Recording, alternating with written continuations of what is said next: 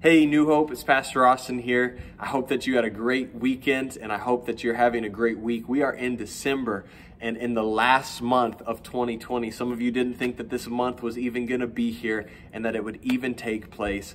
But I am so excited for the Christmas season. We put up our Christmas tree this past Sunday afternoon after I preached and uh, I would love to see a picture of your Christmas tree. So if you've got a picture of your Christmas tree, comment in the comment section below and I will on Facebook post a picture of our Christmas tree and I'd love to see yours too. One of the things that I talked about this past Sunday in our series in Romans chapter 2 was the importance of community and even more so than just community as a whole because there's lots of different levels as far as being in the church community and being in a small group community and, and being in a friend group community and you know all these different levels of community even more dialed in in that is having one person that is very close to you that you can trust their heart and you can trust that they have your best interests in mind and you allow that person to speak difficult truths into your life. Psalm 141 5 says let a righteous man strike me. That is kindness. Let him rebuke me. That is oil on my head and, and I just want to ask you do you have someone in your life that will speak truth into your life and, and, and, sand you down and polish you up and chisel down the, the, the, the rough spots in your life and, and will be able to speak truth into your life? And will you receive it? Because I think sometimes we have pushed people aside that have really had our best interests in mind and are really just pushing us towards holiness.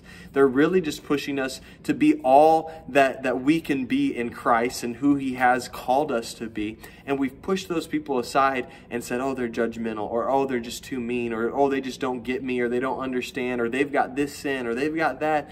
And, and uh, Scripture, time and time again, talks about being open to rebuke, being open to correction. And that is wisdom. That is maturity. That is what is needed to live a life that brings glory to God. And I'm so thankful for many people who have spoken truth into my life. And so this uh, year, I, I would challenge you and ask you do you have someone that is consistently speaking truth into your life?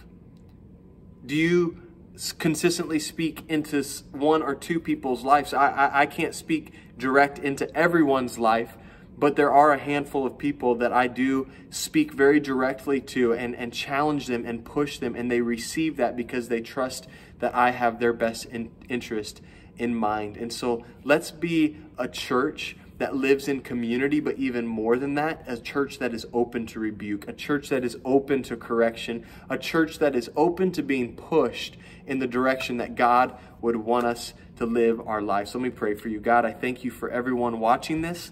I pray that you would bring about names of individuals in our life that we can trust, that we can ask them to speak truth so that we can be all that you have called us to be. And I pray that we would not be afraid and shy uh, away from confrontation, but, but we as a church would sharpen each other and encourage each other as the day of judgment approaches. And so help us do that and accomplish all that you'd have for us to accomplish here on earth. In Jesus' name we pray.